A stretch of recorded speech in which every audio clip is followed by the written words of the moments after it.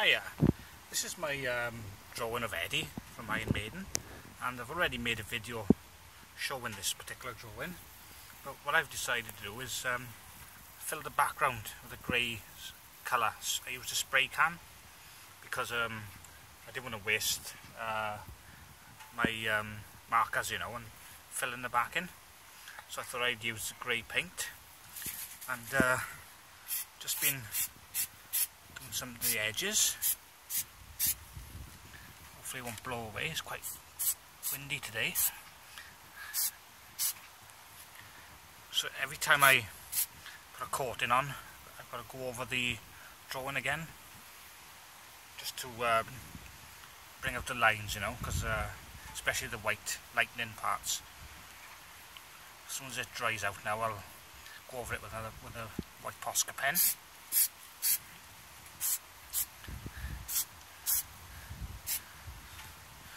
Uh, that's how it's looking anyway. I think it's improved it a bit. Better than just having plain white paper. It's very handy to have uh, the spray. I did a similar thing with one of my other drawings already. I used a red spray paint.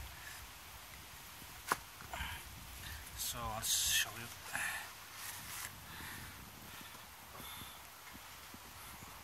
when I get back to my uh, house now, what I'll do is I'll just get my colour pens, just go over the face a little bit, just to um, get the grey spray paint off it.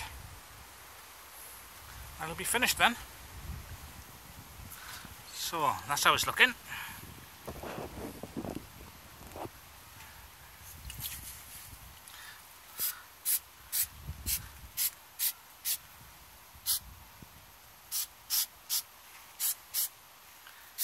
Go over the spoon a bit as well because it's, it's a bit too grey now.